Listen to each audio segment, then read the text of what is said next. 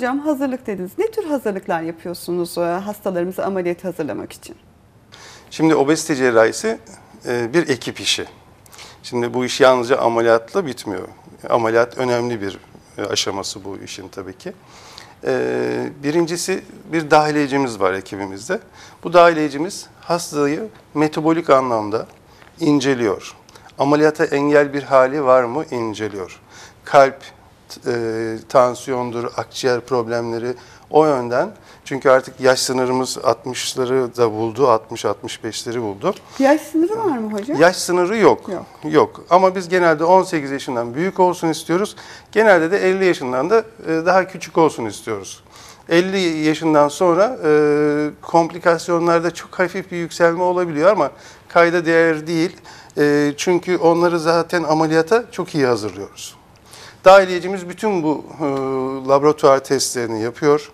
E, akciğer ve kalp açısından kontrollerinden geçiyor hastalar. Ardından da e, ameliyat aşamasına geliyoruz. Ameliyattan önce mutlaka bu testler yapılırken bir de biz mideye endoskopi yapmak zorundayız.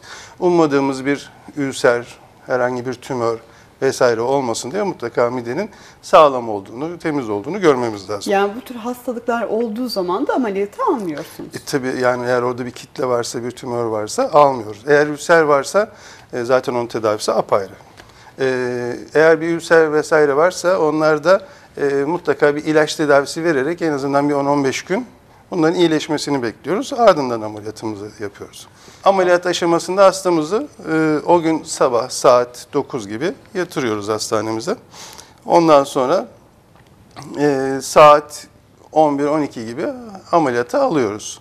Ardından da hastamız e, yaklaşık 1,5-2 saat kadar süren bir ameliyat. Ardından da ameliyat sonrası bir gözlem odasına, genelde yoğun bakıma ihtiyaç duymuyoruz. Gözlem odasından sonra yatağına alınıyor. Ve ortalama hastaneye yatış süresi 4 veya 5 gün emniyet olarak. Önceden çok hızlı taburcu eden hekimler de oldu. Ee, ama 4-5 gün kadar gözümüzün önünde olsun istiyoruz. Ardından da şifayla taburcu ediyoruz ve diyetisyenimiz görüyor tabii taburcu olmadan. Yine ekibimizdeki bir e, arkadaşımız. E, diyetisyen de artık bu tür tüp mide ameliyatı olmuş olan hastaların belirli bir standardımız var. Mesela bir ay sırf sıvı beslenmesi lazım. Birinci aydan sonra yumuşak gıdalara geçiyoruz. Onların kalori dengesini, e, nasıl e, yenileceğini, alışkanlıkları vesaire ve zaman içinde de e, yağdan ne kadar gitti, kastan eridi mi, kastan erimesini istemiyoruz çünkü.